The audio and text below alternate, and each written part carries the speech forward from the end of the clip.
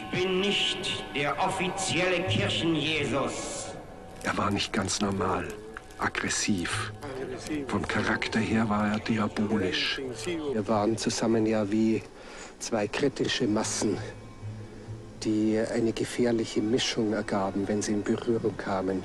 Los, machen Sie Kamera und drehen den Scheißdreck Das werde ich nicht tun, Herr Kinski. Ich entfernte ihn darauf aus dieser Einstellung. Kinski tobte, ich sei größenwahnsinnig geworden. Ich sagte ihm darauf, dann sind wir jetzt eben zu zweit. Was war der Grund, dass ich mir das antat? He's crazy. It's crazy. That's why we work together. Wir gehörten zusammen. Wir waren bereit, miteinander unterzugehen. Egozentrisch ist wahrscheinlich gar nicht das richtige Wort. Er war richtiggehend egomanisch. Die Erde, über die ich gehe, sieht mich und bebt mir nach.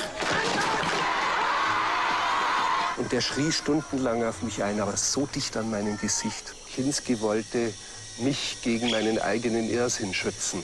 Er war sehr, sehr lieb mit mir auch damals und hat mich geküsst und hat mich ganz lang gehalten und war ganz, ganz aufgelöst und sehr gerührt auch. Das Einzige, was zählte, war, was letztlich auf der Leinwand zu sehen war.